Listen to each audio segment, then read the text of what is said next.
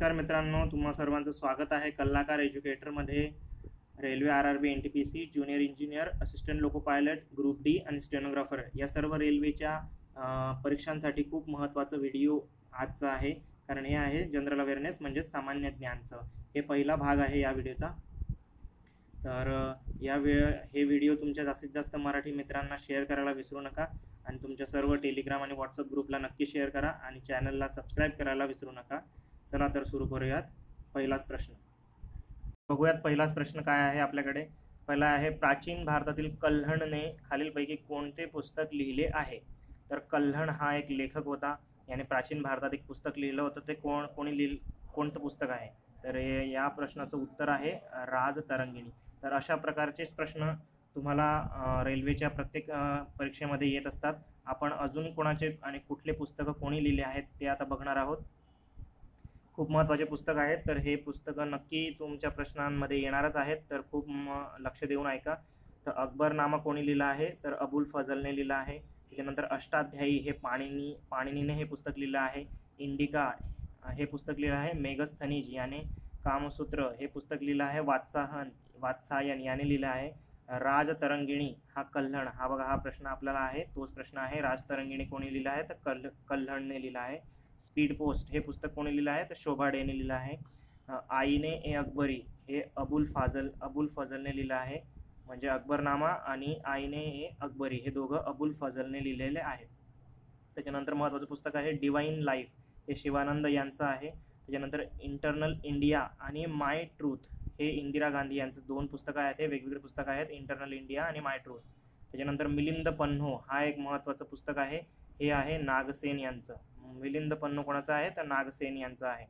शाहनामा हे पुस्तक कोणाचं आहे? फिरदौसी यांनी लिहिलेलं आहे. बाबरनामा हे कोणी लिहिलं आहे? तर बाबरने लिहिलं आहे. अर्थशास्त्र हे कोणी लिहिलं आहे? तर चाणक्य किंवा कौटिल्य किंवा विष्णुगुप्त ज्याला म्हणतात अशी तीन नावं आहेत चाणक्याची. तर अर्थशास्त्र त्याने लिहिलं आहे. हुमायूनामा हे पुस्तक कोणी लिहिलं आहे? तर गुलबदन बेगम यांनी लिहिलं आहे. विनय पत्रिका हे पुस्तक कोणी लिहिलं आहे? तुलसीदास यांनी लिहिलं आहे. त्याच्यानंतर बुद्धचरित्रम हे पुस्तक अश्वघोष यांनी लिहिलेलं आहे. हे यंग इंडिया अजून एक महत्त्वाचं पुस्तक आहे हे महात्मा गांधींनी लिहिलेलं आहे. मालगुडी डेज हे एक एक सिरियलसुद्धा यायची यावर मालगुडी डेजवर तर हे पुस्तक आहे आर के नारायण यांचं. यांचं अजून एक पुस्तक आहे गाईड. यावर देवानंद यांचा सिनेमासुद्धा आला होता गाईड नावानेच. तर हे आर के नारायणचे दोन पुस्तकं आहेत मालगुडी डेज आणि गाईड. त्याच्यानंतर काव्य मीमांसा हे पुस्तक आहे राजशेखर यांचं. त्याच्यानंतर हर्षचरित हे आहे वाणभट यांनी लिहिलेलं आहे. त्याच्यानंतर सत्यार्थ प्रकाश हे आहे दयानंद सरस्वती यांनी लिहिलेलं पुस्तक आहे. त्याच्यानंतर मेघदूत कालिदास यांनी लिहिलेलं हे पुस्तकसुद्धा महत्त्वाचं आहे. बऱ्याच बऱ्याच वेळा क्वेश्चनमध्ये येतो. मुद्रा राक्षस हा सुद्धा प्रश्न मागच्या रेल्वे भरतीमध्ये आलेला होता. मुद्रा राक्षस हे कोणी लिहिलं आहे? तर विशाखा दत्त यांनी लिहिलेलं आहे आणि गाईड आहे आर के नारायण. अशा प्रकारचे प्रश्न तुम्हाला पुस्तकांवर येऊ शकतात. त्या त्यामुळे तुमचे सर्व पुस्तकं अगदी पाठ पाहिजेत. हे पाठ जरी करून टाकले तरी चालतील कारण खूप महत्त्वाचे हे सगळे पुस्तकं आहेत. अशाच प्रकारचे तुम्हाला प्रश्न दिस पाहायला मिळणार आहेत तिथे. बघूयात आपण दुसरा प्रश्न. तर दुसरा प्रश्न आहे प्लासीची लढाई ही कधी झाली होती? तर प्लासीची लढाई दोन जणांमध्ये झाली होती. एक इंग्रजमध्ये आणि इंग्रज यांचे रॉबर्ट क्लाईव्ह होते ते आणि दुसरे होते दुसऱ्या बाजूला होते नवाब सिराजुद्दौला. अशा प्रकारे दोघांमध्ये झाली होती. तर इंग्रज जिंकले होते त्या लढाईमध्ये. तर ही झाली होती तेवीस जून एकोणीसशे सत्तावन्न रोजी. तर अशाच प्रकारच्या खूप महत्त्वाच्या लढाया या पुढच्या स्लाईडमध्ये आहेत. यांचं तुम्ही स्क्रीनशॉट काढून घ्या. खूप महत्त्वाच्या लढाया आहेत आणि अशा प्रकारच्याच हेच प्रश्न तुम्हाला वारंवार येणार आहेत. हा खानवाचं युद्ध हे आता जेई जेईच्या एक्झाममध्ये झालेलं आहे. दोन तीन दिवसापूर्वी जी झाली एक्झाम त्याच्यामध्ये हे युद्ध आलं होतं. तर हे झालं होतं बाबर आणि राणा संगा यांच्या मध्ये झालं होतं आणि बाबर यात जिंकला होता. अशाच प्रकारे तराईंचे सर्व युद्ध तीन युद्ध आहेत. ते तराईंचे सर्व युद्ध तुम्हाला नक्की पाठ पाहिजेत की कधी झाले आणि कोणाकोणात झाले. त्याच्यानंतर पानिपत पानिपतची दुसरी लढाई आहे. पानिपतची पहिली लढाई खूप महत्त्वाची आहे. ती पण पंधराशे सव्वीसमध्ये झालेली बाबर आणि इब्राहिम लोधी यांच्यामध्ये झालेली होती. त्याच्यानंतर चौसाका युद्ध. हा हे सुद्धा हा एक खूप महत्त्वाचा प्रश्न येतो. चौसा चौसाका युद्ध. म्हणजे चौसाची लढाई झाली होती. ती पंधराशे एकोणचाळीस साली झाली होती. ती झाली होती शेरशाह आणि हुमायूं यांच्यामध्ये झाली होती आणि शेरशाह जिंकला होता. त्याच्यानंतर हल्दी घाटीचा हा सुद्धा एक महत्त्वाचा प्रश्न येतो. हल्दी घाटी का युद्ध कब हुआ? तर पंधराशे शहात्तरमध्ये झालं होतं. ते कोणाच कोणाच झालं होतं? अकबर आणि महाराणा प्रतापमध्ये. तर अकबरने हरवलं होतं महाराणा प्रताप यांना. त्यानंतर आपण पाहिलं आपला प्रश्न होता की प्लासीची लढाई कधी झाली? सतराशे सत्तावन्न साली झाली. अठराशे सत्तावन्नचा आपला उठाव झाला होता. त्याच्या शंभर वर्षाआधी म्हणजे सतराशे सत्तावन्नमध्ये प्लासीची लढाई झाली होती. ती कोणाकोणात झाली होती? जसं की मी आधीच सांगितलं अंग्र इंग्रज लोक इंग्रज आणि सिराजुद्दौला यांच्यात. इंग्रजांचा सेनापती कोण होता? रॉबर्ट क्लाईव्ह त्याच्यानंतर वॉन वॉस. हे वॉन वॉसचं जे युद्ध होतं हे सुद्धा महत्त्वाचं होतं. कारण याच्यात फ्रान्सिसी आणि इंग्रज यांच्यामध्ये युद्ध झालं होतं हे. आणि फ्रान्सिसी जे होते फ्रान्स फ्रान्सचे लोक जे होते ते हारले होते. ही झाली होती सतराशे साठमध्ये. तर हे सुद्धा महत्त्वाचं व्हिडिओ आहे. त्याच्यानंतर बक्सारचं युद्ध आहे. हे सतराशे चौसष्टमध्ये झालं होतं. त्याच्यामध्ये अंग्रेजोने मीर कासिम को हराया. अशा प्रकारे खूप महत्त्वाचे हे युद्ध आहे. त्यांचा स्क्रीनशॉट काढून घ्या आणि वारंवार यांचा रट्टा मारा वाटल्यास पण खूप महत्त्वाचे आहेत. हे तुमचे पाठच पाहिजेत सगळे प्रश्न. आता बघूयात योनेक्स कप योनेक्स कप जो आहे तो कोणत्या खेळाशी संबंधित आहे किंवा कोणत्या खेळाशी निगडीत आहे? तर याचं उत्तर आहे बॅडमिंटन खेळाशी संबंधित आहे. तर अशाच प्रकारचे वेगवेगळे कप किंवा ट्रॉफीज ज्या असतात त्या आपल्याला विचारण्यात येतात रेल्वेच्या भरतीमध्ये. तर आपण एक एक ट्रॉफी बघूयात पटपट. फिफा वर्ल्ड कप हा कसा असतो? फुटबॉलचा असतो कोणाचा असतो? फुटबॉलचा रोवर्स कप हा असतो फुटबॉलचा आगा खान आगा खानचा जो कप असतो किंवा ट्रॉफी असते ती असते हॉकीसाठी हॉकीसाठी खेळली जाते. रणजी ट्रॉफी ही क्रिकेटसाठी ही तर यालाच पाहिजे आपल्याला रणजी ट्रॉफी क्रिकेटसाठी असते. त्यानंतर थॉमस कप हे आहे बॅडमिंटनसाठी बॅडमिंटनसाठी आहे सीझर्स कप हेच आहे फुटबॉलसाठी. त्याच्यानंतर सुब्रोतो कप हा सुद्धा फुटबॉलसाठी आहे. डेव्हिस कप कशाचा आहे? लॉन टेनिसचा आहे. उबेर कप उबेर आपण उबेर ओला उबेर वगैरे बघतो ते बॅडमिंटनसाठी हा कप आहे. त्याच्यामुळे अशाच लक अशाच प्रकारे लक्षात ठेवावं लागतं हे. कारण हे खूप म्हणजे रट्टा मारावा लागतो अशा प्रश्नांचा. तर हे तुम्हाला नक्की पाठच पाहिजेत. म्हणून उबेर कप हा आहे बॅडमिंटनसाठी. त्यानंतर चॅम्पियन्स ट्रॉफी आपल्याला यायलाच पाहिजे. क्रिकेटसाठी आहे. त्याच्यानंतर रायडर कप हा आहे गोल्फसाठी. अशाच प्रकारचे पुढच्या व्हिडिओमध्ये आपण अजून आपण कप आणि ट्रॉफी बघणार आहोत. सध्यासाठी एवढंच पाठ करून ठेवा. दुसरा प्रश्न बघूयात. आंतरराष्ट्रीय नाणेनिधी म्हणजे इंटरनॅशनल मॉनिटरी फंड याचं मुख्यालय किंवा हेडक्वार्टर कुठे आहे तर ते आहे न्यूयॉर्क वॉशिंग्टन डी सीला आहे म्हणजेच आहे अमेरिकेत आहे ते. तर अजूनच काही महत्त्वाच्या आंतरराष्ट्रीय संस्था आहेत तर त्यांचं मुख्यालय कुठे आहे ते आपण आता या पुढे बघणार आहोत. आय एम एफ जसं की पहिलाच आपला प्रश्न होता I M F I M F म्हणजे इंटरनॅशनल मॉनिटरी फंड हे कुठे आहे वॉशिंग्टनला मुख्यालय आहे याची स्थापना कधी झाली आहे तर एकोणीसशे पंचेचाळीसला झालेलं आहे. हे खूप महत्त्वाचं आहे यांची स्थापनासुद्धा तुम्ही पाठ करून ठेवा. मी तुम्हाला सांगतोच आहे. तर हे व्हिडिओ अश हे व्हिडिओ जे आहे तुम्ही ते एका दिवसाआड नक्की हे व्हिडिओ परत परत बघा. कारण याशिवाय तुमचं पाठ होणार नाहीत. आणि हे व्हिडिओ तुम्ही जर वारंवार बघितलं दोन तीन वेळा जर बघितलं तर तुमचे सगळे प्रश्न हे पाठ होतील आणि सगळे एकही प्रश्न तुमचा हातातून जाणार नाही. कारण हे फिक्स प्रश्न आहेत रेल्वेचे तर याच्या बाहेर कुठलाही प्रश्न येत नाही. तर आय एम एफ वॉशिंग्टनला मुख्यालय आहे आणि एकोणीसशे पंचेचाळीसला स्थापना झाली आहे. त्यानंतर वर्ल्ड बँक ही आहे. वॉशिंग्टन डी सीलाच याचं मुख्यालय आहे आणि एकोणीसशे पंचेचाळीसला याची स्थापना झाली आहे. तर या दोघा जे संस्था आहेत आय एम एफ आणि वर्ल्ड बँक यांना जुड्या बहिणी असं सुद्धा म्हणतात. हे सुद्धा एक लक्षात ठेवा हा सुद्धा पॉईंट जुड्या बहिणी किंवा ट्विन सिस्टर असं कोणाला म्हणतात? तर आय एम एफ आणि वर्ल्ड बँक यांना म्हणतात. त्याच्यानंतर food food and agriculture organisation हे आहे. रोमला याचं मुख्यालय आहे. एकोणीसशे पंचेचाळीसमध्ये स्थापना झालेली आहे. त्याच्यानंतर विश्व व्यापार संघटन म्हणजे वर्ल्ड ट्रेड ऑर्गनायझेशन जे आहे डब्ल्यू टी ओ ती आहे जेनेवाला त्याचं मुख्यालय आहे जेनेवा. हे खूप महत्त्वाचं आहे जेनेवा त्याचं मुख्यालय आहे. त्याच्यानंतर तिची स्थापना झाली आहे एकोणीसशे पंचेचाळीस एकोणीसशे पंच्याण्णवमध्ये. एकोणीसशे पंच्याण्णवमध्ये काय झालं होतं? तर एकोणीसशे पंच्याण्णवच्या आधी गॅट गॅट नावाचं general agreement on tariff and trade अशा प्रकारचं ही संस्था होती गॅट. तिचं मुख्यालय सुद्धा जिनेवाला होतं. एकोणीसशे सत्तेचाळीसमध्ये तिची स्थापना झाली होती. पण एकोणीसशे पंच्याण्णवला काय झालं? एकतीस डिसेंबर एकोणीसशे पंच्याण्णवला ही गॅट नावाची संस्था बंद पड बंद पाडण्यात आली. आणि त्याच्या जागेवर वर्ल्ड ट्रेड ऑर्गनायझेशन म्हणजे डब्ल्यू टी ओ ही संस्था उदयाला आली. म्हणजे हिची स्थापना काय आहे? डब्ल्यू टी ओची एक जानेवारी एकोणीसशे पंच्याण्णवला झालेली आहे डब्ल्यू टी ओची तर खूप महत्त्वाचं आहे लक्षात ठेवा. त्याच्यानंतर बघूयात आपण. World health organisation. खूप महत्त्वाची संस्था आहे हेल्थच्या दृष्टिकोनातून. हिचं मुख्यालयसुद्धा जिनिवालाच आहे आणि तिची स्थापना झालेली आहे एकोणीसशे अठ्ठेचाळीस साली. तर सगळं खूप महत्त्वाचं आहे. सगळंच लक्षात ठेवा. रेड क्रॉस ही संघटना आहे. हिचं हिचं मुख्यालय आहे जिनिवाला. हिची स्थापना झाली आहे अठराशे त्रेसष्टमध्ये झालेली आहे. त्याच्यानंतर अंटाड अनटाड म्हणून एक संस्था आहे. खूप महत्त्वाची आहे. जेनेवाला तिचं मुख्यालय आहे आणि एकोणीसशे चौसष्टमध्ये तिची स्थापना झालेली आहे. Asian development bank. हे आहे ए डी बी जिला म्हणतात एशियन डेव्हलपमेंट बँक याचं मुख्यालय आहे मनीला. मनीलाला आहे फिलिपाईन्स आय थिंक फिलिपाईन्स मनीलाला आहे. तिची स्थापना झाली आहे एकोणीसशे सहासष्टमध्ये झालेली आहे. त्याच्यानंतर दक्षेस म्हणजेच सार्क. सार्कचा फुल फॉर्म काय आहे? लक्षात द्या. South Asian association for regional cooperation अशा प्रकारे त्याचा फुल फॉर्म आहे तो लक्षात ठेवा. आणि त्याचं मुख्यालय आहे काठमांडूला. आणि त्याची स्थापना झाली होती एकोणीसशे पंच्याऐंशीला हे इयर पण खूप खूप महत्त्वाचे आहेत. कारण इयरवर सुद्धा प्रश्न रेल्वेत विचारण्यात येतो.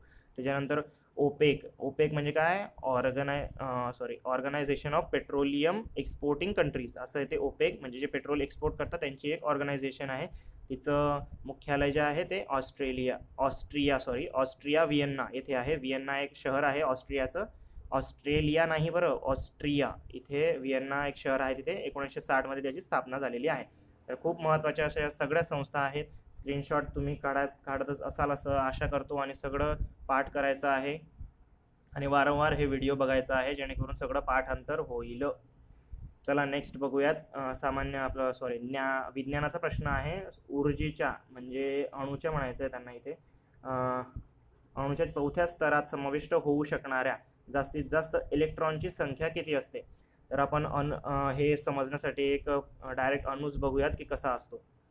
अशा प्रकारचा तुमचा अणू असतो. अणूच्या संयोजा तुम्हाला दिसतं दिसतच असतील. तर पहिला जे शेल असतं किंवा पहिला जो स्तर असतो त्याच्यामध्ये दोन इलेक्ट्रॉन फिरत असतात. याच्यामध्ये हा पहिला बघा हा पहिला आहे याच्यामध्ये दोन इलेक्ट्रॉन असतात. त्याच्यानंतर त्याच्या दुसऱ्या शेलमध्ये जे आहे ते आहेत आठ इलेक्ट्रॉन फिरत असतात. आठ इलेक्ट्रॉन त्याच्यानंतरच्या शेलमध्ये हे आहेत हे सोळा इलेक्ट्रॉन आहेत. अशापैकी अशा प्रकारे हे वाढत जात असतात. त्याच्यामुळे यांची संख्या तुम्हाला महत्त्वाची आहे की संख्या तुम्ही नक्की लक्षात ठेवा. तर आपला आपल्याला चौथा प्र विचारायला आहे. प्रश्न आपण थोड्या वेळात बघूया. आता याचं सूत्र बघूयात आपण पहिले की चौथ्या स्तरात आपल्याला किती इलेक्ट्रॉन असतील? तर हे त्याचं एक जनरल फॉर्म्युला आहे की तर शेलचा किती शेल म्हणजे होल्ड करू शकतं? इलेक्ट्रॉन किती होल्ड करू शकतं? एक शेल म्हणजे स्तर. तर त्याचं सूत्र कसं आहे? की two N two into two into into bracket N square असं एक सूत्र आहे त्याचं. म्हणजे एन म्हणजे आपली स्तर जे आहे चौथ्या स्तराचा. आपला प्रश्न काय आहे? चौथ्या स्तरात विचारला आहे. तर चौथ्या स्तरात म्हणजे इथे चार ठेवायचा. चाराचा वर्ग किती होतो? सोळा. आणि सोळा इंटू दोन म्हणजे सोळा दोन बत्तीस. अशा प्रकारचं हे याच्या इलेक्ट्रॉनची संख्या येणार आहे बत्तीस. तर या प्रश्नाचं उत्तर आहे बत्तीस. म्हणजे चौथं उत्तर आहे. तर ही जी ही जे इलेक्ट्रॉनची संख्या वाढत जाते अणूमध्ये तर ती अशा प्रकारे वाढत जाते. तर त्याचा फॉर्म्युला कसा आहे? टू इंटू ब्रॅकेट एनचा स्क्वेअर एन म्हणजे काय? तर कुठ कितव्या स्तरात आपल्याला पाहिजे. अशा प्रकारचा हा फॉर्म्युला लक्षात ठेवा. आणि हे लक्षातच ठेवा की पहिल्या स्तरामध्ये दोन असतात दुसऱ्यामध्ये आठ असतात तिसऱ्यामध्ये सोळा असतात आणि चौथ्यामध्ये बस्तीस बत्तीस असतात. अशा प्रकारचा हा अणूचा आपला अभ्यास झालेला आहे. पुढचं आपण बघूयात. खूप महत्त्वाचा अशा प्रकारचे प्रश्न येतात की प्रवासी जे असतात प्रवासी जे असतात ते भारतात प्राचीन काळात आले होते आणि त्यांनी पुस्तकं लिहून ठेवलेली आहेत. त्याच्यामुळे हा महत्त्वाचे प्रश्न असतात आणि रेल्वेमध्ये बऱ्यापैकी अशा प्रश्न येतात. हेनसांग हा एक चीनी प्रवासी होता. हेनसांग म्हणून एक चीनी प्रवासी होता. तो कोणाच्या काळात? म्हणजे कोणाचं शासन चालू होतं त्याच्या काळात आला होता तो भारतात. तर बघूयात. याच्यापैकी आपण सगळेच आपण जे प्रवासी होते ते बघणार आहोत आता. तर पहिला आपला जो प्रवासी होता मेगस्थनीज. याने युनानी हा युनानी यात्री होता किंवा युनानी प्रवासी होता हा कोणाच्या काळात आला होता? तर चंद्रगुप्त मौर्य जेव्हा शासन करत होता तेव्हा आला होता. अशा प्रकारचे प्रश्न येतात खूप. की चंद्रगुप्त मौर्याच्या काळात कुठला प्रवासी आला होता तर तो मेघस्थनीज आला होता. मेघस्थनीजचं बुक कुठलं? आपला पहिल्याच प्रश्नामध्ये बघितलं. तुम्ही कमेंट करू शकता लगेच. तर ते बुक आहे इंडिका. लक्षात ठेवा सगळं पाठ ठेवा. मेघस्थनीज यांनी कुठलं लिहिलं आहे तर इंडिका नावाचं पुस्तक लिहिलं आहे. त्याच्यात त्याने भारताचं वर्णन लिहिलं आहे चंद्रगुप्त मौर्याच्या काळातलं. ओके? तर बघूयात परत आपण. त्याच्यानंतर डायमेक्स हा सिरियाचा जो प्रवासी होता हा कोणाच्या काळात आला होता? तर बिंदुसार नावाचा जो राजा होता इथे तेव्हा तो आला होता. तर हे सुद्धा अवधीसुद्धा लक्षात ठेवा कालखंडसुद्धा लक्षात ठेवा तुम्ही की कधी आला होता असं. त्याच्यानंतर फाह्यान हा चीन फाह्यान हा चीनी यात्री होता. तो आला होता चंद्रगुप्त चंद्रगुप्त द्वितीय. याच्या काळात काल कालखंडात आला होता आणि हेनसांग हा आपला प्रश्न आहे. हेनसांग हा चीनी यात्री. तर तो सहाशे तीसमध्ये आला होता. हर्षवर्धन याच्या काळखंडात तो भारतात आला होता. त्याच्यानंतर मार्को पोलो हा इटलीचा प्रवासी जो होता तो बाराशे अठ्ठ्याऐंशीमध्ये कोयाल नावाचा जो राजा होता कायाल सॉरी कायाल नावाचा पांड्या राजा होता त्याच्या काळात तो आला होता. त्याच्यानंतर इब्न बतुता हा सुद्धा एक महत्त्वाचा आहे. प्रवासी तो मोरोक्कोचा प्रवासी होता. इब्न बतुता हा कोणाच्या कालखंडात आला होता? तर तो आला होता मोहम्मद बिन तुगलकच्या कालखंडात तो भारतात आला होता. त्याच्यानंतर दुसरं शेवटचा आहे निकोलो कोंटी. निकोलो कोंटी हा इटलीचा प्रवासी होता. तो चौदाशे वीसमध्ये देवराय प्रथम कृष्ण देवराय प्रथम जो होता त्याच्या कालखंडात आलेला होता. अशा प्रकारे हे सगळं पाठ करून ठेवा. खूप महत्त्वाचे आहे ही स्लाईड आणि अशाच प्रकारचे प्रश्न तुम्हाला महत्त्वाचा प्रश्न बघूयात. लोकसभेची निवडणूक लढवण्यासाठी वयाचे किती वर्ष पूर्ण असावी लागतात? तर आत्ताच लोकसभेच्या निवडणुका झालेल्या आहेत. एन डी एला बहुमत प्राप्त झालेलं आहे. लोकसभेवर सतरावी जी लोकसभाची निवडणूक झाली आहे लोकसभेवर याच्यानंतरचं पूर्ण व्हिडिओ तुमच्यासाठी घेऊन येणार आहे. ते खूप महत्त्वाचं व्हिडिओ असणार आहे ते नक्की बघा.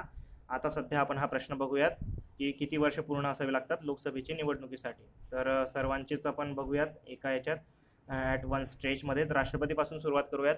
राष्ट्रपती पदासाठी आपल्याला कमीत कमी पस्तीस वर्ष वयाची पस्तीस वर्ष पाहिजेत. त्याच्यानंतर उपराष्ट्रपतीसाठी सुद्धा पस्तीस वर्ष पाहिजेत. राज्यपालासाठी सुद्धा पस्तीस वर्ष पाहिजेत. त्यानंतर उच्चतम न्यायालय म्हणजे सर्वोच्च न्यायालयाचं जे सेवानिवृत्तीचं वय आहे सर्वोच्च न्यायालयाचे जे न्यायमूर्ती सत्ते त्यांचं वय आहे सेवानिवृत्तीचं पासष्ट वर्ष आहे. आणि उच्च न्यायालय जे आहेत ते आहेत त्यांचं सेवानिवृत्तीचं वय आहे बासष्ट वर्ष. सर्वोच्च न्यायालयाचे जे न्यायाधीश आहेत त्यांचं पासष्ट वर्ष. आणि जे उच्च न्यायालयाचे न्यायाधीश आहेत त्यांचं सिक्स्टी टू इयर्स. हे लक्षात ठेवा दोघांमध्ये फरक आहे थोडा. लोकसभा सदस्य यांचा कमीत कमी वय किती पाहिजे? तर पंचवीस वर्ष पाहिजे. आपलं उत्तर आहे पंचवीस इयर्स ओके त्याच्यानंतर राज्यसभा साधी सदस्यासाठी कमीत कमी किती वय पाहिजे? तर तीस वर्ष पाहिजे पाहिजे. त्याच्यानंतर सदस्य राज्य विधान परिषदसाठी जर जे सदस्य असतात त्यांच्यासाठी सुद्धा तीस वर्ष पाहिजे. अशा प्रकारे खूप महत्त्वाची स्लाईड आहे. कोणाला किती वर्ष कमीत कमी पाहिजे आणि सेवानिवृत्तीचं वयसाठी खूप महत्त्वाचे आहे. नेक्स्ट प्रश्न बघूयात. तर भारतात थर हे वाळवंट कोणत्या राज्यात आहे? तर वाळवंटावर हा प्रश्न आहे. खूप महत्त्वाचा प्रश्न आहे.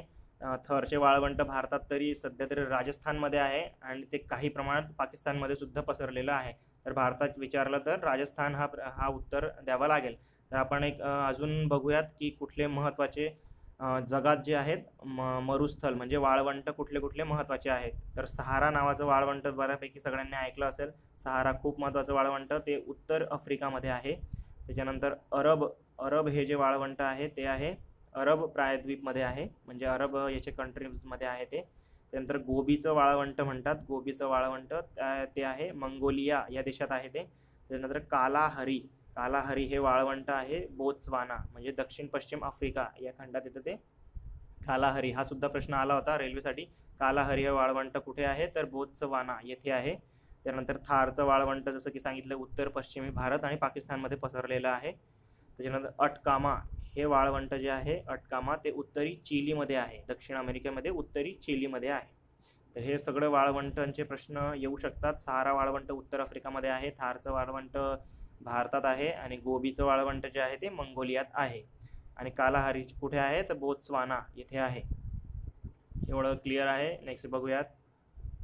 आता न्यूटन हे डॅश डॅशचे एस आय एकक आहे. तर हा प्रश्न तुम्ही मला सोडून दाखवायचा आहे. याचं उत्तर तुम्ही कमेंट बॉक्समध्ये करू शकता. आणि तुम्हाला जर नाही आलं तर नेक्स्ट व्हिडिओमध्ये आपण या याचं जे आहे विश्लेषण आपण बघणार आहोत. तर हा प्रश्न तुम्ही नक्की घरी ट्राय करा आणि नसेल आला तर कमेंट नक्की करा. आला तरी कमेंट करा. आणि तुमच्या जास्तीत जास्त मराठी मित्रांपर्यंत हे व्हिडिओ पोचवा या व्हिडिओची क्वालिटी बघून तरी पोचवा आणि कल्लाकार एज्युकेटर या चॅनलला सबस्क्राईब करायला विसरू नका. थँक्यू धन्यवाद.